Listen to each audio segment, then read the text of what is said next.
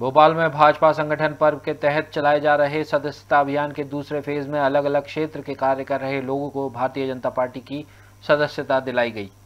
इससे पहले प्रदेश भाजपा अध्यक्ष बी डी शर्मा ने लोगों को भाजपा की रीति नीति से अवगत करवाया।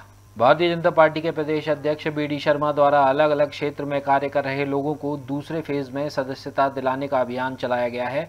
इसके तहत अब अलग अलग क्षेत्रों में काम कर रहे प्रोफेशनल्स को भाजपा की सदस्यता दिलाई गई है।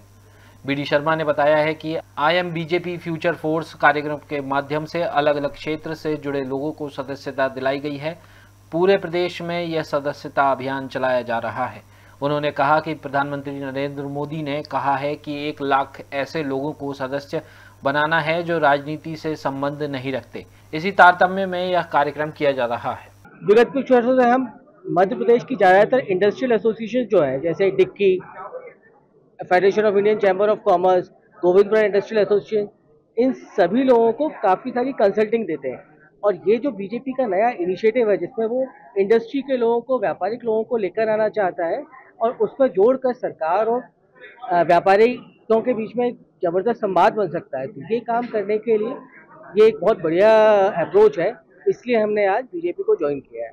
मैंने बीजेपी की सदस्यता ली है और 15 अगस्त 2024 को जो प्रधानमंत्री जी ने आह्वान किया था कि नॉन पॉलिटिकल बैकग्राउंड से भी अगर जुड़े अपने अपने क्षेत्र में काम करें और बीजेपी का जो इनिशिएटिव्स हैं, जो चीज़ें हैं, उसको फैलाएँ तो मैंने उसी के चलते मुझ पर भी असर हुआ। सभी समाज के प्रोफेशनल और इंटेलेक्चुअल्स को आज हमने एक कार्यक्रम लॉन्च किया है।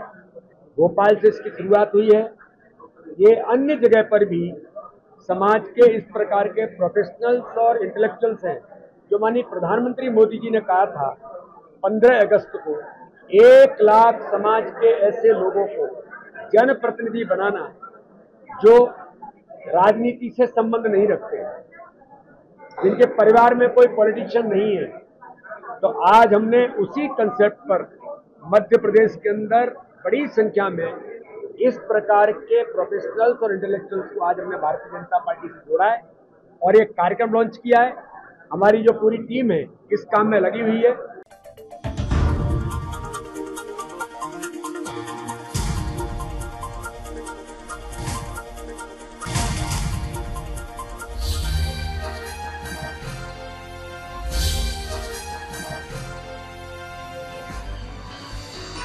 आप देख रहे हैं दखल न्यूज़।